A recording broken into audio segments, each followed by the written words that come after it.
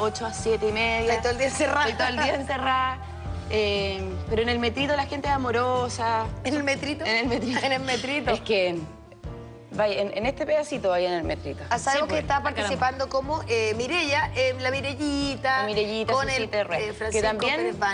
También está enamorada de un hombre que no la corresponde. Oh, pero es más difícil porque tú dices que está en la mitad de sus capacidades para No, no, no, seducirlo. no, no, no, no, no. Lo que pasa es que, no, Mireya está incluso más cerca porque es su novio. Pancho Pérez Banen es su pololo. Entonces está infinitamente más cerca. Ellos tienen una historia de hace años, son amigos desde chicos.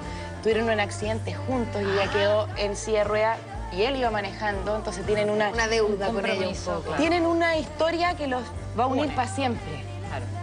Y Yo esa no la veo, te digo. te la pierdes porque es Yo la he visto y me encanta Pérez Banen.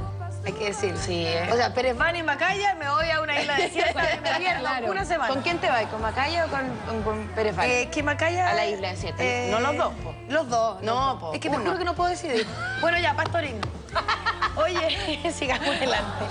Justamente Oye, estamos hablando del caso sí, de Macaya, aquí, como que la fama le vino aquí como una cosa, como un torbellino, porque piensa que él es conocido. Él siempre ha sido galán igual. Él siempre ha sido galán Sí. y tenemos las declaraciones de Aranza que las, que las va a leer la Yanin. Sí, porque ¿Qué dice, bueno, Macaya, el galán de soltero otra vez, que escapó del carrete. ¿Será cierto? Porque hay que ver digo que ahí, leer entre líneas. Mira, cuentan un poco que él se paseaba por la Escuela de Teatro de la Universidad Católica con poleras desaliñadas, que tenía cara de venir recién despertando y siempre con un pucho en Ella la es de boca. la Católica, ya lo veo. ¿Cierto? Sí, pues. ¿Ok? Oye, él es mucho Todas la mayor. encontraban súper mino. Es ¿Es cierto o no es cierto? Sí. Todas la encontraban súper mino. Pero es mayor, era mayor. Pero él no las pescaba a ninguna, porque él es así como, como Dios lo hizo. Ya.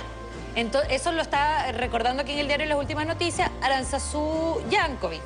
Y dice que justamente es esa la actitud que Pablo Macaya cultiva hoy en su vida, por supuesto, y que le impregna también al personaje de Álvaro.